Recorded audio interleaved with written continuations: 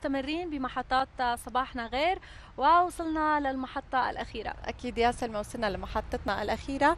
مثل ما بتعرفي بفصل الخريف كثير من السيدات بيعانوا من جفاف البشرة. كيف ممكن نحصل على بشرة ناعمة ورطبة؟ وبعيدة أكيد وبعيدة كثير عن الجفاف. معنا اليوم لناخذ النصائح المهمة. همسة كريم أخصائية بشرة يسعد صباحك وأهلا وسهلا صباح فيك الخير يسعد صباحكم. يسعد صباحك أهلا وسهلا يسعد فيك صباحك حبيبي يعني دائما تغير الفصول هو يمكن المنبه الأول عند كل سيدة بالعموم لبشرتها نحن هلأ فصل الخريف. خلينا نحكي شو المشاكل اللي بتمر فيها البشرة خلال هذا الفصل؟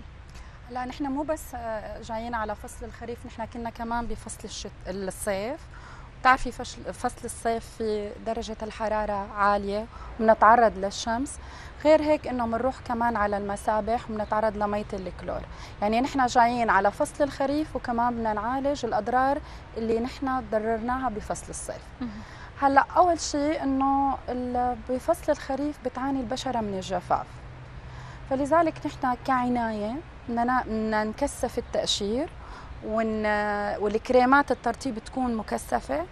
آه، لحتى نحن نتهيأ كمان لفصل الشتاء لأنه بصير آه، جفاف أكثر والترطيب مو بس إنه يكون من الخارج يعني حتى حتى من الداخل لأنه أغلب الناس بس يجي فصل ال- الخريف والشتاء بتخفف من شربها للمي. وهذا الشيء ابدا ما بيصير لأنه نحن لازم كل يوم على الأقل نشرب 8 كاسات مي. في كثير ناس بتيجي بتقول لي 8 كاسات؟ إيه أنا منيح إذا شربت كاسة مي. لا بالعكس المي كثير مفيدة لحتى نرطب بشرتنا وجسمنا. نحن مو بس البشرة اللي هو طبعاً. الجسم والشفايف وكله عرفتي كيف؟ أكيد. آه، همسة خلينا نحكي عن نوع ماسك. بيناسب كل أنواع البشرة. ممكن يستخدموه هلأ ويستفيدوا منهم آه، من أدر... آه، ويستفيدوا منه هلأ. وأكيد بعد الأضرار اللي صارت مثل ما قلتي بالبشرة من فصل الصيف. إيه هلأ عنا ماسكين. أنا اليوم رح أحكي عن ماسكين. الماسك اللي هلأ بدي أقوله تبع خميرة البيرة منيح للأضرار الصيف ومنيح كمان للبشرة الدهنية اللي عندها حبوب اللي بتعاني من الحبوب.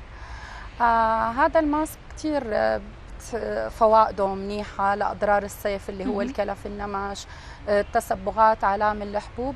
والماسك الثاني كمان منيح لا إحنا مقبلين على فصل الخريف والشتاء. ماسك خميرة البيرة مكوناته عبارة عن معلقة خميرة بيرة معلقة عصير الليمون ومعلقة آه، آه، ماء الزهر أو ماء الورد. آه، وعنا الماسك الثاني هو كتير منيح للترطيب بزيد نسبة الترطيب هلأ لأنه عشان نحن جايين على الشتاء.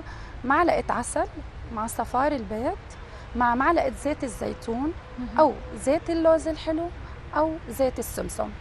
زيت السمسم لأنه فيه نسبة ترطيب عالية. وزيت اللوز كتير منيح للبشرة أو زيت الزيتون. ما في فرق يعني اللي متواجد عنا بالبيت فينا نحطه. طيب خلينا نحكي عن استخدام ال- الماسكين ويمكن عم بسأل عن الاستخدام لأنه عادة بنشوف كتير ماسكات بنستخدمها يمكن بطريقة غلط أو بنحضرها بطريقة غلط فبصير في عنا يمكن تأثير ما رح أقول سلبي كتير لأنه الطبيعة ما بتأثر على جسم الإنسان سلبيا بس ما باخذ النتيجة المرجوة منها. إيه صح. هلأ عندك أول ماسك اللي ذكرته تبع خميرة البيرة. نحن بعد ما حطينا المكونات معلقة معلقة معلقة بنخلطه منيح بنحطه على الوجه هلا لمدة تقريبا شي 20 دقيقة لأنه هو ماسك تيني طبعا أنا لما أقول الوجه بدنا نحط كمان على الرقبة لأنه فينا نحط على الجسم بشكل عام إيه كثير منيح. للإيدين فينا نحط لل ما في مشكلة هذا مكان. ماسك أوكي. كثير منيح مم. آه بنحطه على الوجه تقريبا يفضل 20 دقيقة لأنه هو بيصير مثل ماسك طيني مهم. آه هذا طبعا لما بتيجي بتحطه الزبونه بتقلي حرقني وجهي كثير وصرت حس بغزوزة هذا شعور طبيعي جدا تمام. يعني ما تخاف أي وحدة بدها تحطه وهذا بيناسب اجمالا كل البشرات. يعني 2 أو 3% اللي ممكن يضايقهم أو يعمل لهم تحسس. بهالحالة إذا صابهم هيك شيء بنغلي مية البابونج بنخليها لتبرد بعد ما بردت بنمسح وجهنا فيه بنروح بنيجي نمسح وجهنا فيه ولا كأنه في شيء. هلأ ال mask الثاني هو مثل ما قلت لك بيرطب كثير منيح هلأ لفصل الشتاء. معلقة عسل طبيعي مع مع آه، صفار البيض. مع معلقة زيت زيتون أو لوز الحلو أو السمسم. بنخلطهم منيح منيح بنمدهم على الوجه وعلى الرقبة طبعا وبنتركه كمان 15 دقيقة. مم. يعني أكثر شيء maximum إنه انت نحن لل 20 دقيقة بعد هيك ما في أي فائدة. وبنغسل الوجه طبيعي. بتحس كثير بتفرق بشرتها إن كان بماسك خميرة البيرة ولا إن كان بالماسك تبع العسل والبيض والزيت. كثير كثير رائع. طيب همسة خلينا نحكي عن التأشير فوائد التأشير وإمتى الوقت الصح اللي يقوم السيدات بتأشير وشهم الوقت والمدة بين التأشير الأول والثاني قد إيه لازم تكون شوفي هلأ دائما في ناس تيجي بتقلي إنه أنا ما رح أعمل تأشير بالصيف بخاف. لا ابدا هذا الحكي ما صحيح. نحن بالصيف بنتعرض للشمس أكثر نتعرض لأنه نكلف ننمش. فالتأشير بالصيف فيني أعمله من مرة لمرتين بالأسبوع. يعني الفاصل بيناتهم ثلاث أيام بس التأشير شو؟ ما أنا بدي أعرف شو نوع التأشير. تمام. التأشير بده يكون نوع من أنواع السكراب الخفيف كثير إحنا بنسميه جوماج يعني آه مثلا عشان ننصح اللي عم بيسمعونا أنا لما بدي أشتري أي نوع تأشير بده يكون كريمي آه مثل الرمل وما يكون في حبيبات كبيرة لأنه البشرة ما بتحب الشيء اللي بيجهدها. يعني السكراب لازم يكون كتير ناعم ولا هو بيخرش البشرة. أما فوائد التقشير كتير منيحة بالصيف وبالشتاء. يعني نظرية خاطئة جدا للي بتسمع إنه التقشير بتخاف منه بالصيف. إيه؟ بس حسب نوع التقشير آه هلأ الفوائد إنه التقشير بجدد خلايا البشرة بنشط الدورة الدموية. آه هذا كلياته بيعطي للبشرة نضارة. يعني كل وحدة بتقشر بشرتها بالأسبوع من مرة لمرتين كثير بتلاقي بشرتها نضرة. بس في إنه أنا بعد ما أعمل التقشير أسكر مسام وجهي وهذا أهم شيء لأنه أغلب الناس ما بتسكر مسام طيب عشان هيك تسكر مسام وجهها للي عم بيشوف هلأ تسكير مسام الوجه يعني بده يكون بال tonic.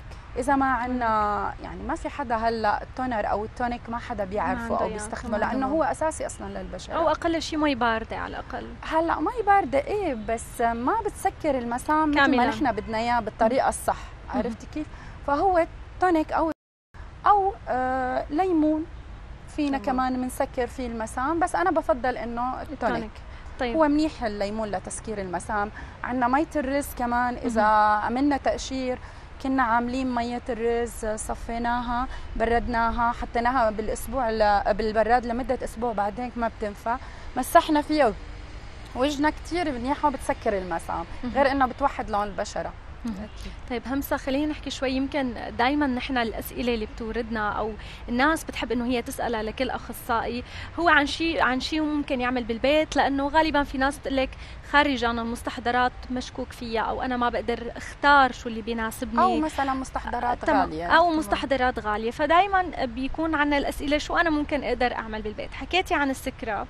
آه، بالعموم ال scrub اللي الرائج أو اللي الناس بتعرفه اللي هو اللي بيخلطوا السكر مع الزيت فبصير في scrub ولكن هذا ممكن يخرش البشرة مثل ما حكينا لأنه يعني. آه، حبوب السكر كبيرة وقاسية حتى لو انخلطت مع الزيت العطري صح. أو الزيت العادي. صح أنا ما كثير تماما. شو في نوع scrub ممكن ينعمل بالبيت؟ من اللي حكيتي عنه؟ يكون خفيف على البشرة. هلا أنا لما قلت لك على mask خميرة البيرة هو. نوع من ال scrub؟ هو mask و scrub مع بعض تمام. وعندنا كمان mask ثاني ممكن نستخدمه mask و scrub اللي هو العسل والملح. معلقه عسل ومعلقة ملح. تخلطيهم منيح وبتحطيهم. هو mask و scrub تمام. والقهوة همسة أنت ما بتنصحي فيها؟ هلأ القهوة لك ليه. هي القهوة يعني هلأ مو كل الناس بتناسبهم. هي القهوة منيحة للجسم آه، يحطوها للتقشير للي عندهم سلوليت. ما كثير أنا حسيت إنه كل الناس ناسبتهم. نحن اليوم يعني, يعني عم نحكي شيء يناسب الكل عرفتي كيف؟ أكيد. وشيء مجرب بصراحة. أنا عم بحكيكي على شيء مجرب يعني لما إذا بدنا على الماسكات ملان ماسكات. أكيد. بس مو كله بيناسب كل أنواع البشره تمام.